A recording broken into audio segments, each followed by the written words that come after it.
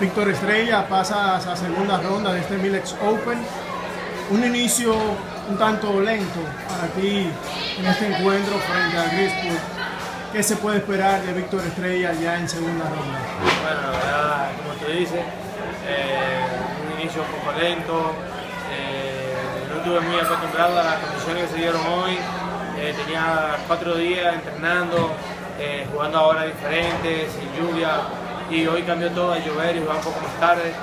Pero nada, muy contento por haber avanzado a la segunda ronda y sabía que era una condición bastante incómoda, pero nada, pude estar ahí, mantenerme el partido y sacarlo adelante.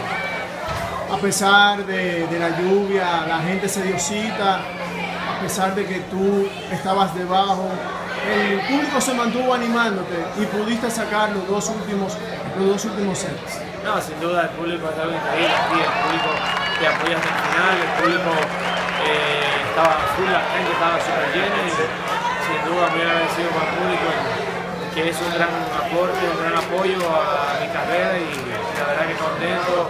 Eh, me debo mucho al público de la República Dominicana ya que ellos viven lo que yo estoy viviendo, lo que es el éxito de, mi carrera en los últimos 4 o 5 años y la verdad muy agradecido con ellos sin ellos no estuvieran aquí hoy, yo no hubiese sacado el partido adelante. ¿Qué diferente hubo en el primer set y en los, en los dos finales? Bueno, la diferencia del primero y los últimos dos fue que ya me fui adaptando un poco a las condiciones, eh, pude jugar más en la pelota y es cuestión de tiempo, siempre cuando uno tiene condiciones diferentes, es cuestión de adaptarse a las condiciones y empezar a jugar a favor de esas condiciones. Tendrás dos partidos eh, este próximo miércoles Día de la Restauración, donde tendrás un partido sencillo y también tendrás un partido de dobles. Ese partido de dobles frente a un amigo tuyo, frente a Nicolás Almagro, con quien eh, has participado anteriormente en encuentro de dobles. Bueno, sin duda, eh, lleva segundo partido, un día largo.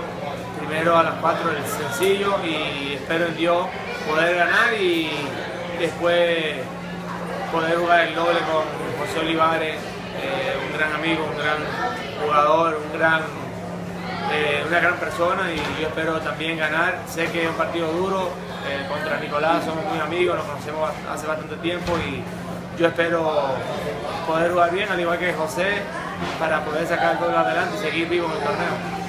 Como siempre, el mensaje para que vengan a apoyarte en este Minex Open toda mi gente, todo el público de República Dominicana que sigue el tenis, vengan acá y necesita durante toda la semana apoyar a sus jugadores. Mañana a las 4 de la tarde en el partido individual y a las 8 de la noche el partido doble. Lo espero. Gracias, Víctor.